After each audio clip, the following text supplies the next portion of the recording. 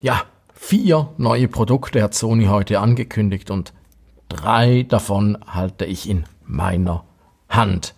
Ja, der Titel des Videos hat es ja schon verraten, worum es geht.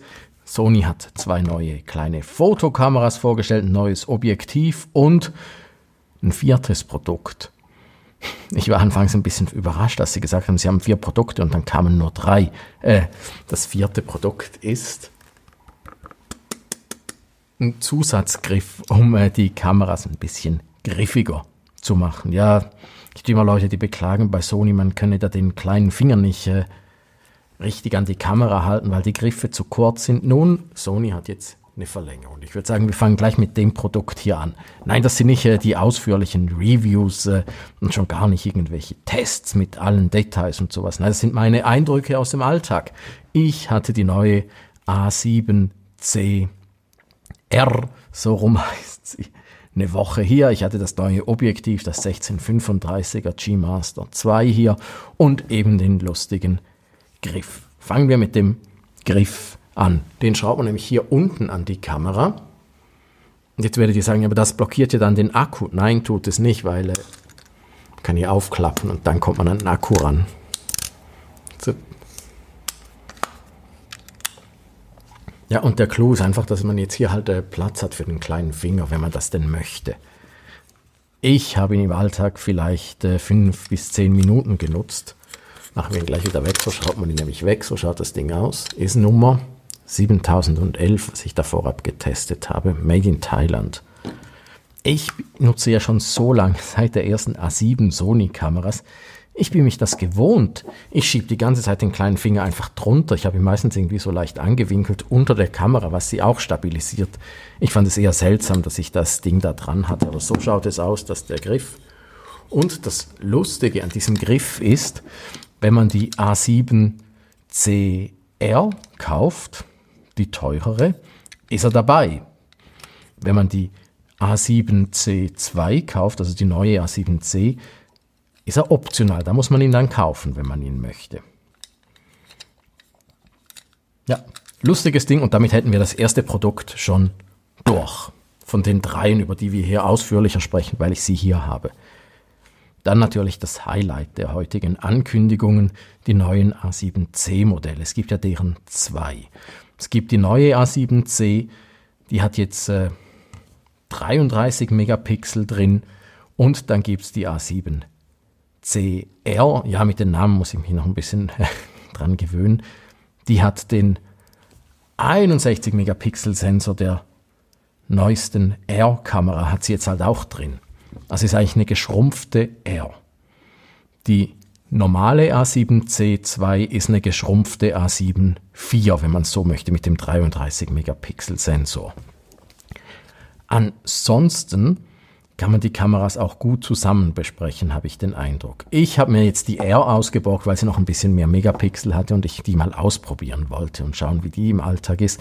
Aber die andere hat einfach deren 33 und ansonsten halten sich die Unterschiede in Grenzen. Im Alltag auf jeden Fall. Irgendwo auf den Specsheets. Ich muss jetzt überlegen, was sie da noch. Also bevor jemand meinte, nein, auch die R kann kein 8K filmen euch das schnell zeigen, was sie filmen kann. Da haben ja die Leute anfangs spekuliert, weil die große R, die kann ja 8K, aber die kann nur bis 4K rauf. Chip Movie Settings, 24 Frames und äh, bis 60 Frames. So. Nein, äh, kein 8K in einer der beiden. Ansonsten, was ist äh, auffällig an den Kameras? Ja, sind, es sind halt die kleineren Kameras. Sie haben da oben nicht noch einen großen Ausguck drin für den Sucher. Der Sucher ist hier auf der Seite versteckt. Ansonsten oben hat man das Modusrad. Man kann hier, ich schalte sie nochmal aus, dass wir da nicht irgendwie was verpfuschen. Äh, hier hat man einen Hebel, wo man verstellen kann zwischen Zeitlupe, Video und Foto. Ich fand es immer ein bisschen irritierend im Alltag, dass man hier den Hebel hat und äh, hier die Ansicht, was man genau verstellt hat. Muss da immer ein bisschen aufpassen, dass man nicht aus Versehen verstellt. Und hier bei dem Rädchen muss man auch immer ein bisschen aufpassen, dass man das nicht aus Versehen äh, in der Tasche oder so verstellt. Aber die Rädchen sind sehr schön gemacht.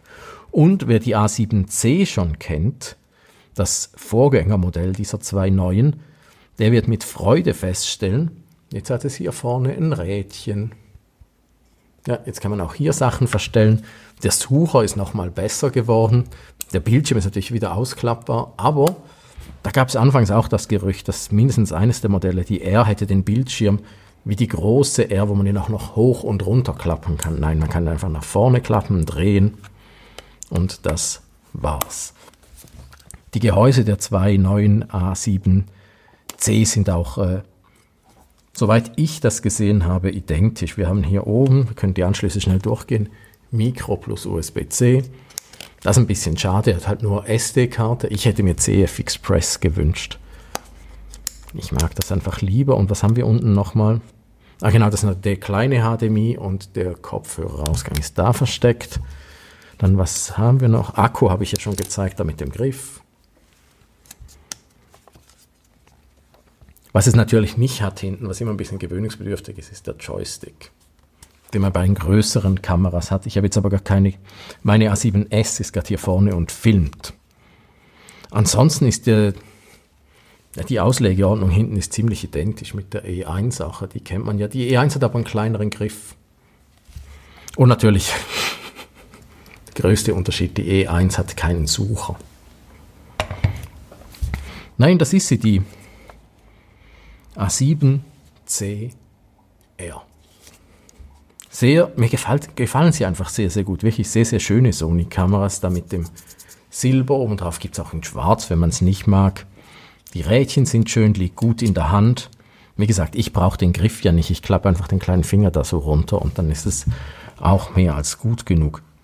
Nein, wir müssen jetzt hier nicht große Bildqualität-Tests oder sowas machen ist der 61 Megapixel Sensor drin, der ist einfach gigantisch. Der, das, der macht riesig Spaß, was im Alltag auch große Freude macht. Ist natürlich das Autofokus-System, da mit diesem Artificial Intelligence Autofokus, wie es Sony nennt, wo der Fokus halt nicht nur erkennt, wo ist der, wo sind die Augen, wo ist der, der Kopf, sondern wo ist der Mensch und wie bewegt sich der Mensch oder der Vogel und all die Sachen, die es halt tracken kann. Das ist schon sehr, sehr cool. Ich bin ganz, ganz ich fotografiere inzwischen sehr, sehr gerne mit meiner E1, einfach weil sie auch dieses Fokussystem hat. Super zuverlässig. Und das Menü ist auch das Gute, was halt wirklich Touch ausgelegt ist. Man kann alles per Touch bedienen. Ich bin da so Fan von geworden. Ich vermisse das auf allen anderen Kameras, wo ich es nicht habe. Ich wünschte, Sony würde das per Update endlich mal nachreichen. Chips. Ja, wirklich äh, ganz, ganz coole kleine Kameras. Wo ich natürlich immer so ein bisschen unsicher bin, ist, äh, jetzt hat man die A7 IV und hat die neue A7C, dann hat man die A7R und dann hat man die A7CR. Ja, welche soll es denn nun sein? Und äh, am Schluss des Tages wird man sich wohl anhand des Preises entscheiden. Ja, die da ist ein bisschen portabler, aber so viel portabler finde ich sie im Alltag dann jeweils auch nicht, weil sie einfach da oben den den Sucher nicht haben, macht ein bisschen was aus, aber so viel auch nicht. Und wenn der Preis dann anderswo wieder besser ist und ja, ist immer ein bisschen abwägen halt, äh, was man lieber möchte. Bin ich dann gespannt. Könnt ihr mir auch in den Kommentaren schreiben, ob ihr, wie viel die, der Formfaktor für euch ausmacht und äh, wie entscheidend der ist.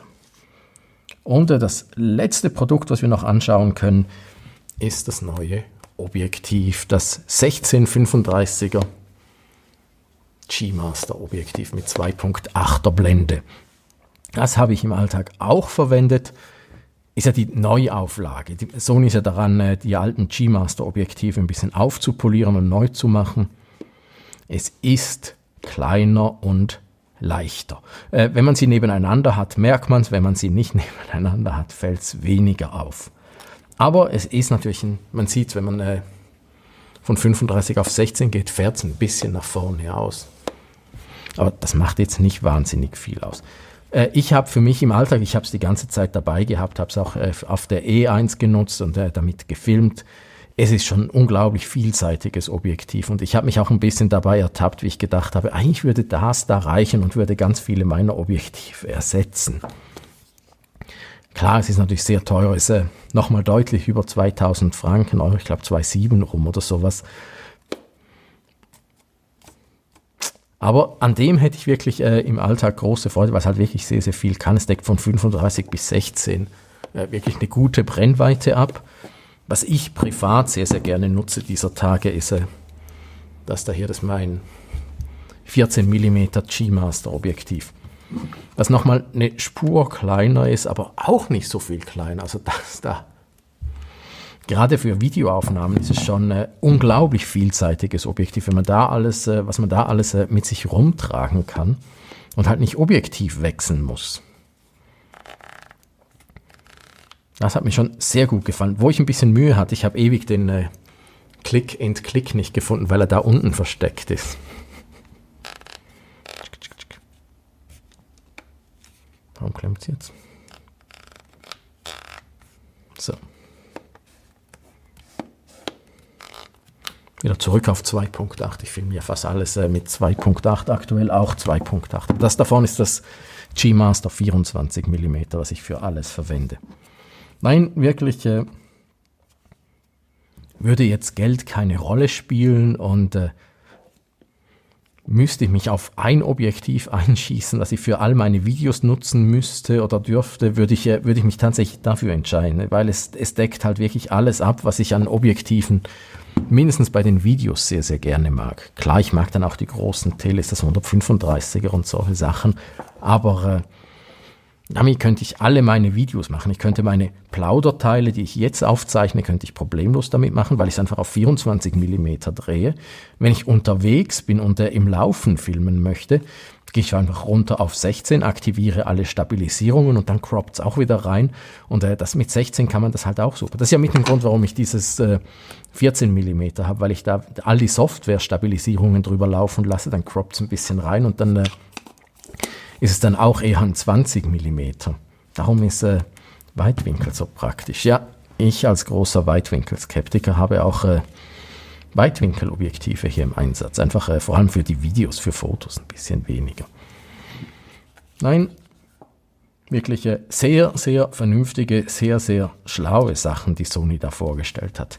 Den Griff, die zwei kleineren Kameras und das Objektiv, was einfach äh, super praktisch ist, äh, gerade eben wenn man Videos macht oder wenn man im Weitwinkelbereich unterwegs ist und fotografieren möchte. Und jetzt kommt der obligate Teil, äh, wo Raphael sagt, er kauft sich nichts davon und ein halbes Jahr später hat er dann doch irgendwas davon. Nein, äh, ich glaube, von den vier Sachen werde ich mir privat nichts kaufen. Habe ich damals bei der E1 auch gesagt und ich bin auch schwach geworden, weil sie einfach so praktisch ist und der Preis nochmal gefallen ist. Aber äh, wenn ich mir hier irgend, natürlich mit der 61 Megapixel R hätte ich großen Spaß, aber äh, ich brauche ja keine so großen Dateien. Mir reichen ja auch 12 Megapixel, ehrlich gesagt.